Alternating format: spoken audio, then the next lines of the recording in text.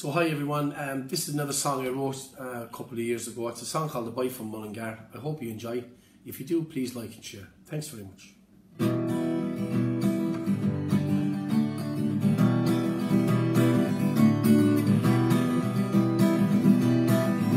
Well, an Irish soldier rebel caught outside of Dublin town. Brought to an army barrack where they tried to break him down. You'll tell us of your leaders, boy, and this to you we swear. If you tell us where they're stationed, it's your life we will spare. He said I was born in Mullingar, a rebel true and two. Is nothing of me, comrades, I will tell to you if you're gonna kill me, let me say my prayers And I will make my peace at last with man upstairs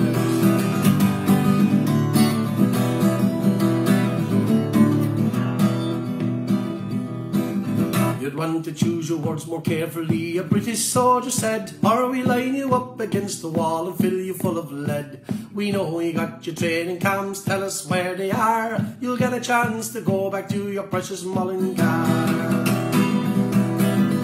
He said, even if I tell you everything I know, I know it in me heart and soul, you won't let me go. But if you're gonna kill me, let me say my prayers, and I will make my peace at last with the man upstairs.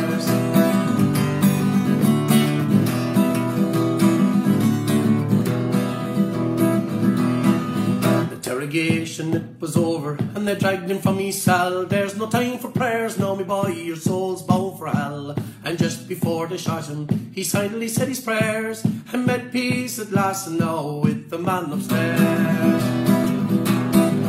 So come all Irish rebels no matter where you'll be.